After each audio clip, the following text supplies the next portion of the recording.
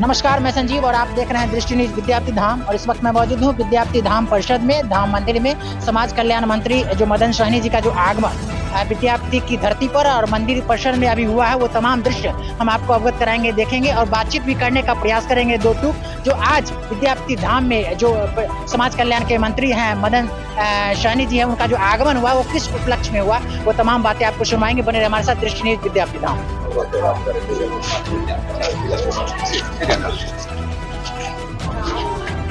और ये तस्वीरें आप देख पा रहे होंगे, साफ़ तस्वीरें देख महादेव मंदिर विद्यार्थी धाम से, जो आप तस्वीरें देख पा रहे होंगे, किस तरह से मंदिर के मुख्य द्वार पर सौ परिवार माननीय मंत्री सहनी जी प्रवेश करते हुए साफ़ तस्वीरें आप देख पा रहे होंगे। पूजा अर्चना के लिए सौ परिवार माननीय मंत्री समाज कल्याण, जो आप मदन सहनी जी हैं, उनकी तस्वीरें, साथ में उनके जो परिजन हैं उनकी तस्वीरें आप देख पा रहे होंगे, साफ़ तस्वीरें आप देख पा रहे होंगे। अरविंद सैनी भी इनके साथ मौजूद है, साफ़ तस्वीरें आप देख पा रहे होंगे। विद्यापति धाम मंदिर का जो मुख्य मंदिर है, महादेव, उगना महादेव का मुख्य मंदिर का जो तस्वीरें आप देख पा रहे होंगे। माननीय मंत्री, समाज कल्याण विभाग के जो बिहार सरकार के मंत्री हैं, उनके साथ में जो तमाम जो दल के भी नेतागण हैं, साथ में सौ परिवार पूजा अर्चना के लिए जो पहुँचे हैं, वो तस्वीरें आप देख पा रहे हैं।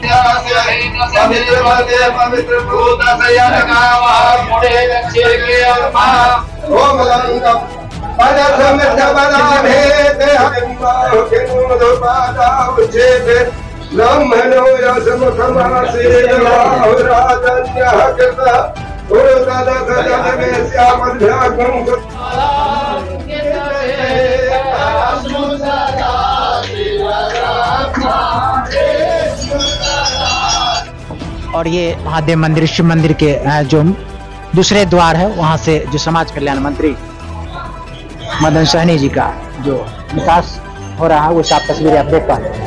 वहीं पूजा अर्चना के बाद जदयू के प्रदेश सचिव धीरेन्द्र कुमार सिंह जी के द्वारा माननीय मंत्री को सम्मानित करते हुए का एक दृश्य आप देख पा रहे विद्यापति धाम के प्रांगण से साथ में रतन शंकर भारद्वाज मंदिर परिषद के सदस्य के द्वारा माननीय मंत्री को पुष्प माल्या अर्पण करने के बाद पाग व चादर देकर सम्मानित किया गया। साथ में तस्वीरें आप देख पा रहे होंगे। उगना महादेव की एक चित्र जो भेंट की गई माननीय मंत्री जी को, वो तस्वीरें आप देख पा रहे होंगे विद्यापति की पावन धरती से। माननीय मंत्री, विद्यापति की पावन की धरती के बारे में, पूजा अर्चना के बारे में क्या कहते हैं? दो टूक शब्द, जो बातचीत का क्रम हुआ, वो साफ़ तस्वीरें आप देख पाएँगे।